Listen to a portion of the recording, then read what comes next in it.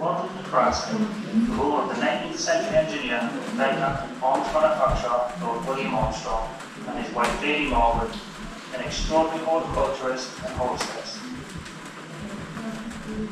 Begun in 1863 as a simple fishing lodge, this arts and crafts pleasure palace was extended in three phases by architect Richard Norman Shaw between 1870 and 1884. First house in the world to be lit by hydroelectricity filled with pioneering gadgets, to the Armstrong's guests that would have felt dazzlingly good.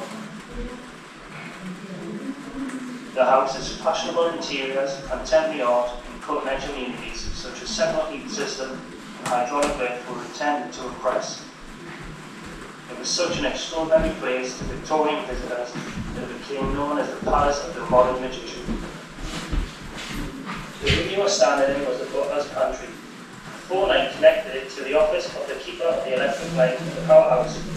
The butler just ran when power was needed to light up the house. Start your journey here in the bustling servants area of the ground floor. Continue to the family's entertainment spaces. Enjoy exploring Britain's original small jewel.